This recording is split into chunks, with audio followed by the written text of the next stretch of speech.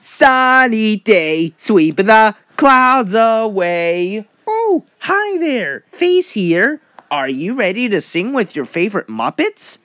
I hope so, because coming up next is a song from Sesame Street, right here on Nick Jr.